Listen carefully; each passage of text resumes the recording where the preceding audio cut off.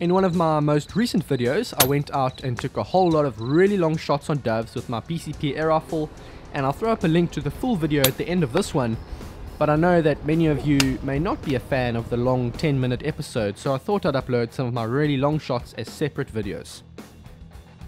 So here's the shot we'll be looking at today. This bird is at 112 meters or 122 yards and right from the get-go it was a challenge because the laser rangefinder was finding it very difficult to give me a reading on this bird.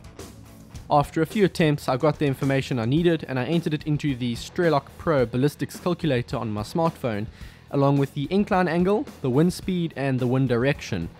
The app then gave me the holdover and windage values in MRAD, also known as milliradians or mils, and using the dots on my scope's reticle I adjusted accordingly. The rest is history.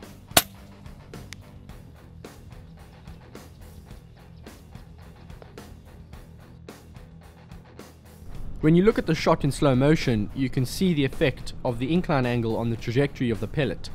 Shooting at an angle means that you aren't dealing with the full force of gravity, and that's why this pellet passes almost 2 mil dots above the crosshair, despite the fact that my rifle is zeroed in such a way that when shooting perfectly horizontally, the pellet is not supposed to pass above the crosshairs at all.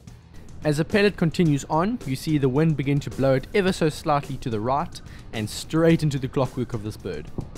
He makes a half attempt to fly off, but he runs out of steam and is dead before he even hits the ground.